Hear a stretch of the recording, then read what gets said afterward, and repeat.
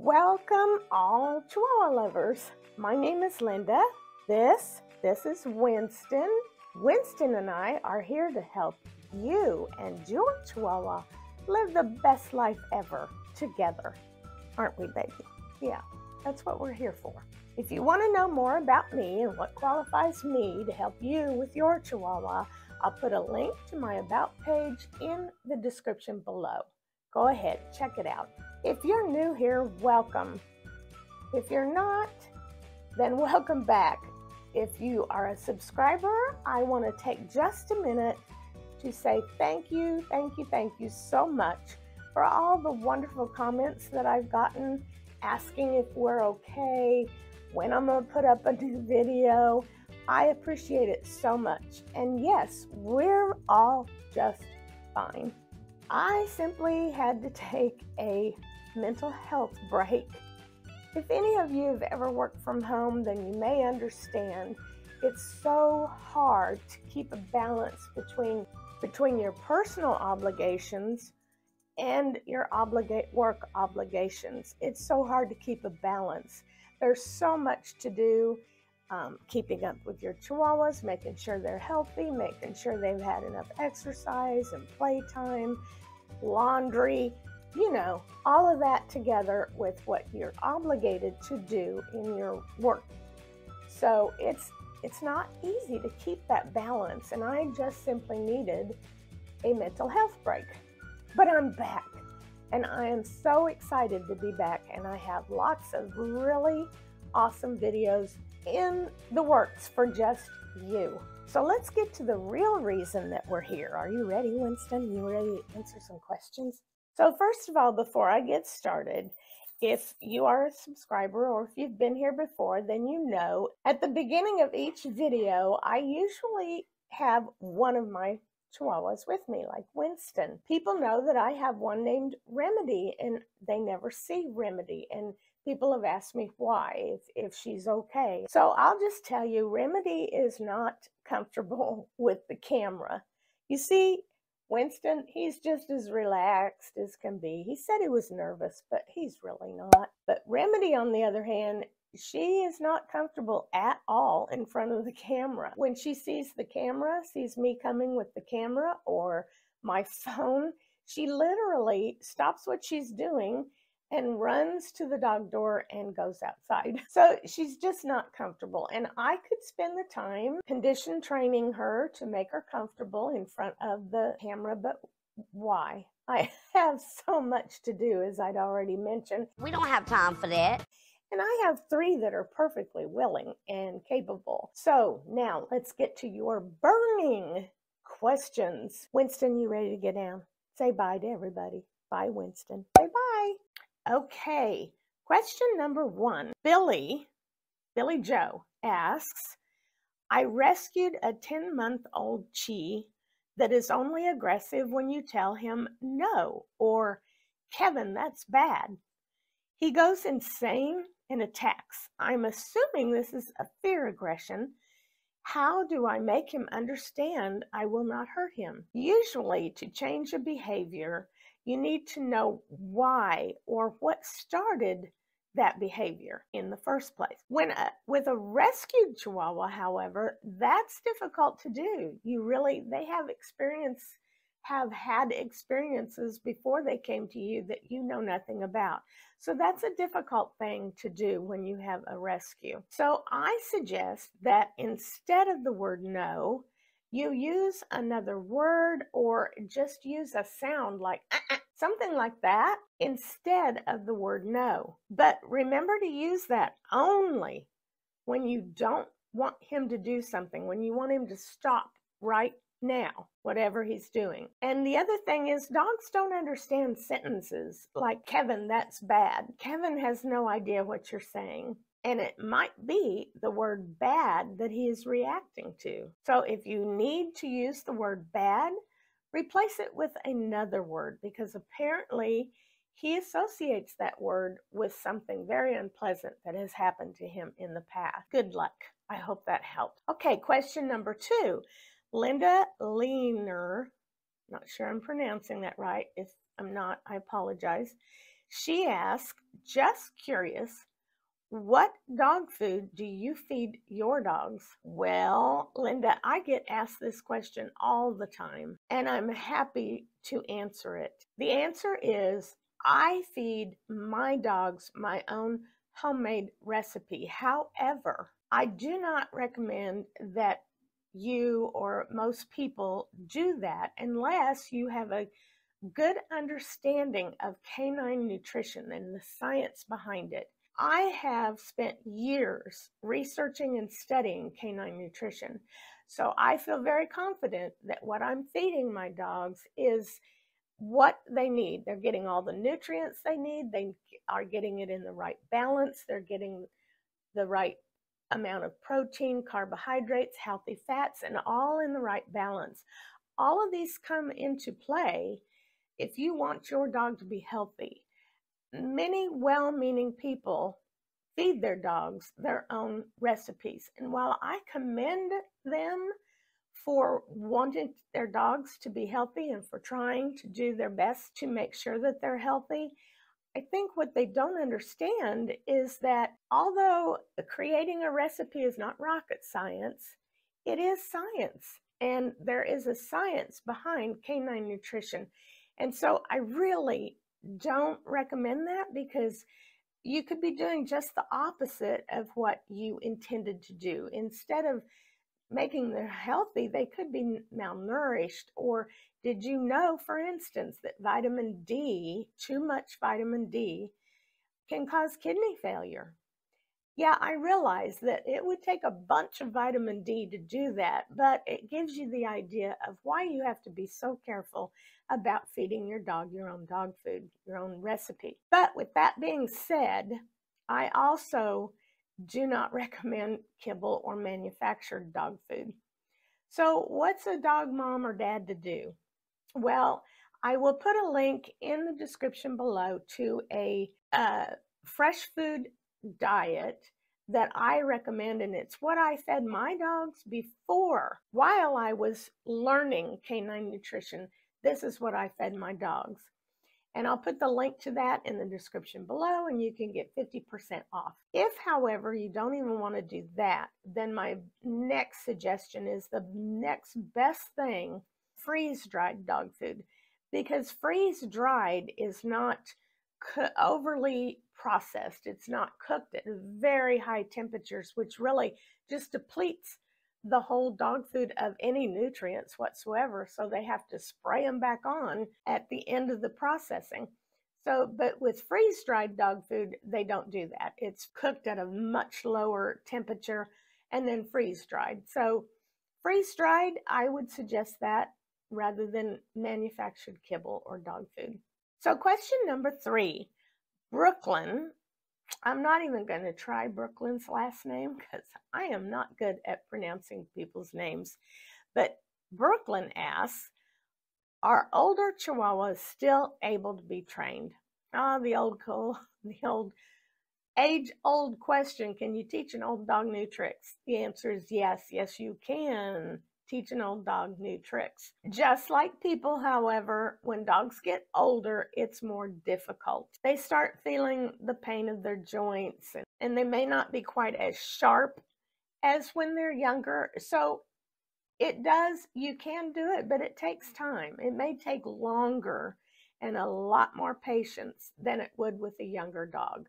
So just keep that in mind consistency and patience. But yes, you can teach an old dog new tricks. So, question number four Rachel Leach asks, do you happen to have a Facebook Chihuahua page that I can send my pictures of all four of my Chihuahuas? The answer is yes, I do. And I'll put a link to it in the description below. The issue is I have a hard time with Facebook because at one time I had over 25,000 subscribers to my Facebook page and they shut it down. They completely shut it down without any explanation to me whatsoever. There's no way to get a hold of anybody to find out why or what I can do to have them reinstate it. So I had to start all over again with zero subscribers.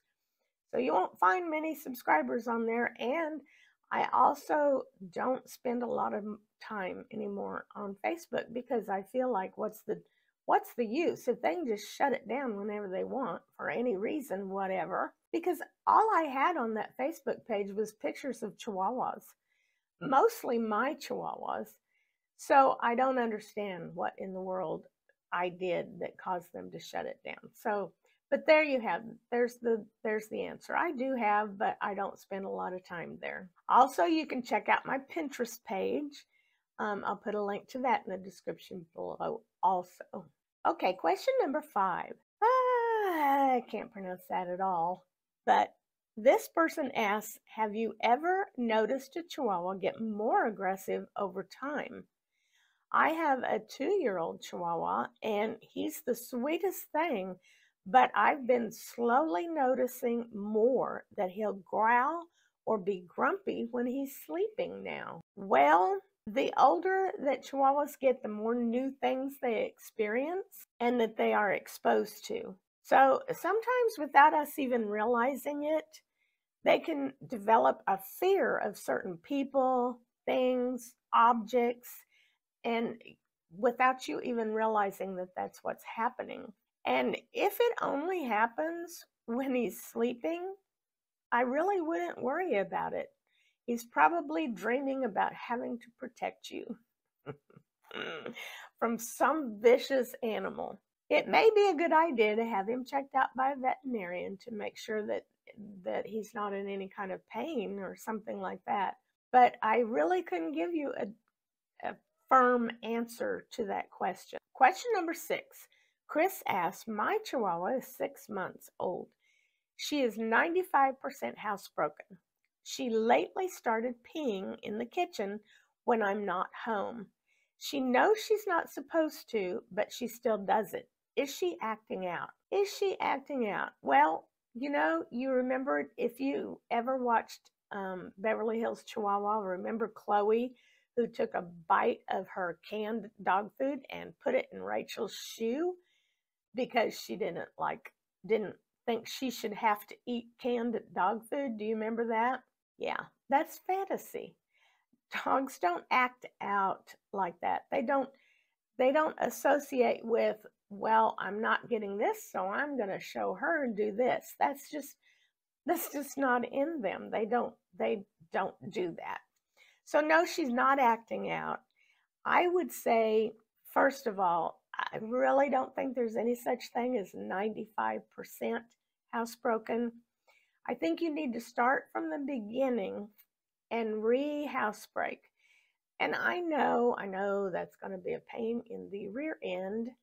Um, but if you want your Chihuahua to be 100% house trained for the rest of their entire life, I'm afraid that's what you really need to do is go back from the beginning start over again and um, taking her out every two hours, making sure she's not out in the in the uh, free out in the house.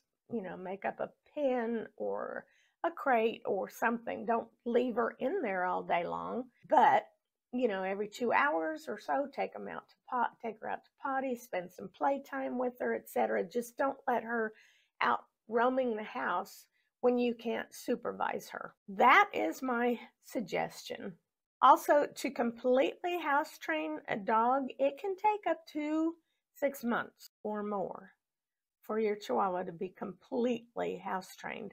And the mistake that a lot of people make is they, you know, they, your chihuahua hasn't done anything, hasn't peed or pooped in the house in a week or so, so you think they're trained. And so you stop the house training. And that is the way most people mistake. That's the mistake that most people make, I think, is you you have to spend the time. And six months, yeah, that sounds terribly like a terribly long time, and it's a pain in the rear to train them. But some dogs take less time, sometimes take a little more time. But if you want, again, if you want your Chihuahua to be completely house trained for their entire life, this is what you need to do. I also have a free ebook on how to house train a Chihuahua, and I'll put a link to that in the description below. And it's a step by step how to house train your Chihuahua. Okay, question number seven Sunshine73 asks, What's your opinion regarding using puppy pads? That's a good question, and I've had a lot of people ask me that before. My opinion is to use one or the other. If you intend your Chihuahua to always go outside to potty, then train them that way. Don't even introduce potty pads. On the other hand, if you intend to use potty pads all the time, then don't introduce taking them outside. And the reason for that is because it's confusing to your chihuahua. You know, sometimes I can pee in the house and sometimes I can't. They don't associate that it's okay just in this spot, but not okay over here. They don't associate that and it can be confusing. Now, I know that there are people who have done that, that there are people who their chihuahuas go outside and then they use potty pads on rainy days or snowy days and it's worked for them. That's great. But I'm just telling you that most of the time that doesn't work because it's confusing. Your dog just doesn't understand or associate the difference. And in the book I mentioned, um, my free ebook on how to house train a Chihuahua, I um, explain that in more depth and teach you how to house train, how to house train your dog to potty pads if that's what you prefer to do. Okay, question number eight. JHG asks, what can I feed my chihuahua that is obese and always hungry? And there's another good question that I get a lot. I know when the, that when I worked at a veterinary hospital, I saw so many really seriously overweight, obese chihuahuas, and I felt so sad for them because it's just not healthy. I, I, don't know what else to say except it's just so not healthy and it shortens their lifespan it shortens their lifespan, sometimes a lot. But I also know how difficult it is. I mean, those big brown or big black eyes looking at you and begging you for treats, how can you resist that? I understand that too. But I also want to give you something to think about. How do you know that your dog is hungry? Say your dog is hungry, he wants to eat all the time. The truth is, dogs are programmed to hunt for food. Sometimes, well, my four chihuahuas, for instance, when they go in the kitchen, their nose is to the floor constantly. And it's not so much because they're hungry. I know they're not hungry. It's because that's their instinct to hunt for food. And they know there's food in the kitchen. So they're going to walk around with their noses to the floor all the time, hunting for anything that you might have dropped. So the fact that they do that doesn't necessarily mean that your chihuahua is hungry. Just keep that in mind too. Second of all, it's not so much what you feed them, but of course, how much you feed them. And that includes treats. Sometimes people forget that when you give them treats during the day, you need to deduct that from their meals for that day, that, um, you know, as close to as you can uh, think um, that amount. Suppose the treats have 30 calories, the ones that you fed them that day, then you need to lower the food intake for your dog by 30 calories or so. And I you you basically have to guess that, but you do need to deduct that. Keep that in mind that when you feed them treats, you need to lower their meals for that day. Helping a Chihuahua to lose weight is a process. And my other suggestion is to always weigh your food. However, um, and so don't don't rely on a measuring cup. I have a video that I'm going to put up soon that will show you exactly how to measure your dog food or, or to weigh your dog food. What you need to do is to use a kitchen scale and weigh the dog food. But even then, if you use kibble, each little kibble nugget, they're never always the exact same size. And one kibble can be, uh, you know, the amount of calories that one kibble has over another can be anywhere from 10 to 100 calories difference. So it's difficult. I realize that. And that is why I have started a one on one weight loss program. I'll put a link to that in the description below. And I'm also working on a course on how to help your chihuahua to lose weight. And it'll be a step by step, show you everything you need to know, how to know whether or not they're, they're getting the right calories, how much calories your chihuahua needs, because it differs from dog to dog, from chihuahua to chihuahua.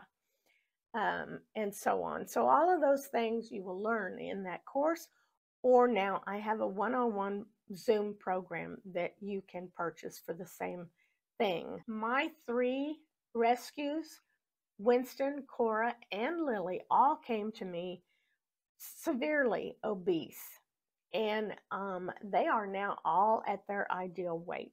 So I know how I do how to do it. I know what I'm doing, and I can help you too if that's what you want to do. The link is in the description below. Okay, question number nine. Random internet viewer, that's clever. Random internet viewer asks, is a chihuahua okay for a single person working nine hours a day? Well, yes, I can tell you this. Chihuahuas do very well as a pet for a single person. If you get a chihuahua and they will be in a crate for nine hours a day, then no. My answer is a adamant no. You cannot do that. You cannot put a dog in a crate or a kennel for nine hours a day. It just is, that's cruel and inhumane. Uh, using a crate is not, but putting them in there and keep them in there for nine days or nine hours a day, that's cruel. Don't do that. So, what I suggest is if they're completely potty trained, get a a dog door so they can go in and out of the house and do their business uh, anytime they need to. Make sure they have plenty of toys and things to keep them occupied. Chihuahuas need something to do, otherwise, they'll tear things up. So, make sure they have plenty of toys to play with. I suggest giving them a Kong that is filled with um, healthy food that you know they're not going to choke on. You don't want to leave them with a anything that they could possibly choke on and then leave them.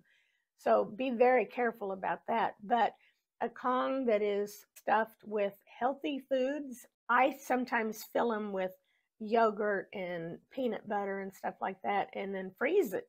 And then it takes them a long time to get all of that out and it keeps them occupied for a long time. That's a suggestion. Or if you can't do any of those things, then I suggest you um, get the help of a friend, a family member, a neighbor, someone who can spend the time to come over and uh, make sure they go outside, make sure they have some play time, and spend some time with a person during the day. That's another suggestion if you have to work. Chihuahuas do very well as a single person, as a pet for a single person. So, question number 10 LA Hall asks, how often should a Chihuahua get a dental cleaning? Chihuahuas are very prone to teeth issues, and the reason for that is they have the same number of teeth as any other dog breed. That's 42 teeth. If they all come in, they have 42 teeth.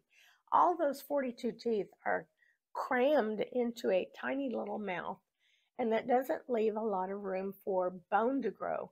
And it does make for a great breeding ground for bacteria that causes periodontal disease.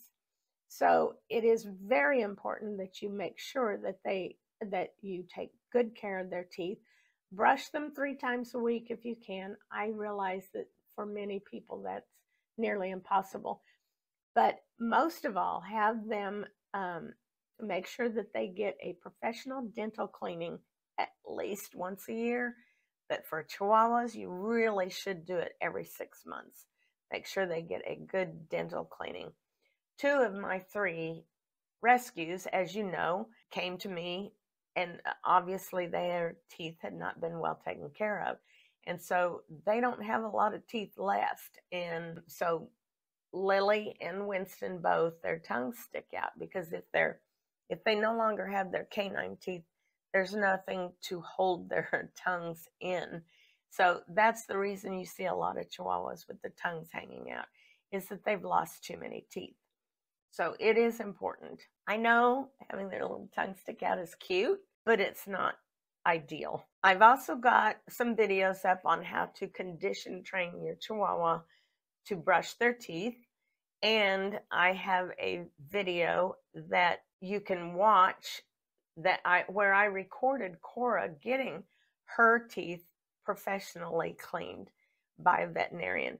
I recorded the whole thing and you can watch that so you can see what happens when they get their teeth cleaned at a veterinarian clinic or hospital. Yes, a professional cleaning can be expensive, but it's not as expensive as the health issues that, that periodontal disease can cause. It can even cause heart issues and so on.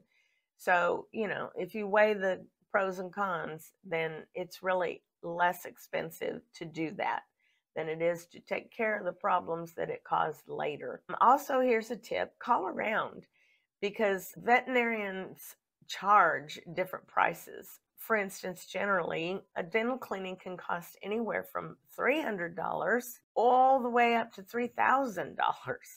So it depends on what vet you take them to. Like, for instance, if you live in a big city, veterinarians there generally charge a lot more than if you live in a smaller town.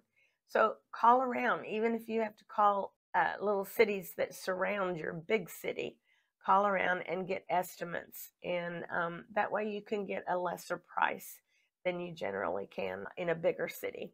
So there's a tip for today. So that's all the time I have for this video, and that's 10 questions.